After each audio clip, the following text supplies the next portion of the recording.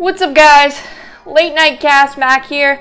And before I talk about the Panthers' move today, I'm gonna be honest, trying to figure out the Carolina Panthers' game plan as a team right now is like me trying to figure out finance and calculus. And there's a reason I took those four, four, four times. It took me a minute, and I hope I eat my words on all of these interesting um, moves that we've uh, we've made over the last couple of seasons. And I'm not saying it's not a great deal for Ian Thomas as we inked him to a three-year, $16.5 million um, contract, eight fully guaranteed. I'm not saying it's not a great deal for him, and this he's a very, very solid, reliable blocker. Is he elite? No.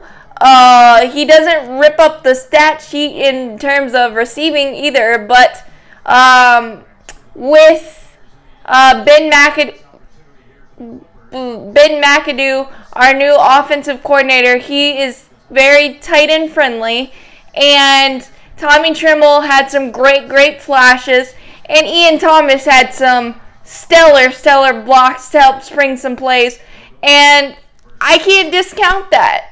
And frankly, our offensive line over the last three, four years, last year and the year before especially, couldn't protect a wet paper bag. So having some continuity with Ian Thomas as a blocker and um, Brady Christensen, who had some nice moments on the left side at left tackle, and obviously Trai Turner, the all pro that he is.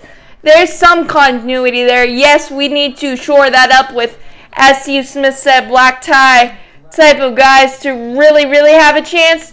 Um, and honestly, I think our quarterback Carousel has missed Ian Thomas on some wide open plays as well. Um, he, has 90 catches, 802 yards, and four touchdowns in his total in his career so far. So yes, is there a little bit more development and to be desired at tight end? Yes, but I'm going to be pos- as positive as I possibly can with with these moves because a, like I said, this is a great contract for Ian Thomas. B, great blockers are hard to find.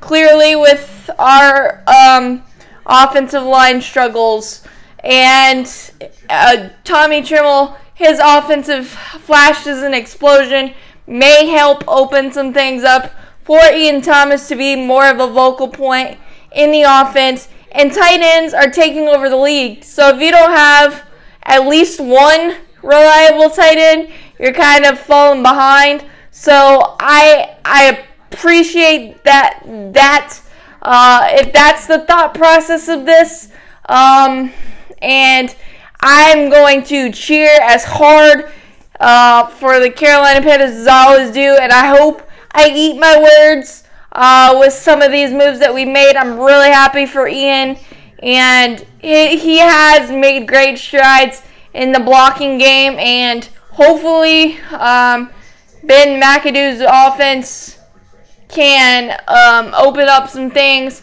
for both Tommy Tremble and Ian Thomas for us to be more explosive and allow the weapons of DJ Moore and Robbie Anderson Christian McCaffrey, if he's around, to um, start breaking some games open and scoring more than 20 points. That would be phenomenal. So I'm not going to rip rip this move a new one. I'm just going to see what happens because honestly, trying to figure out the Panthers is uh, really hard to do right now, but uh, it is what it is. I'm always going to be a Panther fan, so that's all that matters. As always, keep pounding. Go Panthers.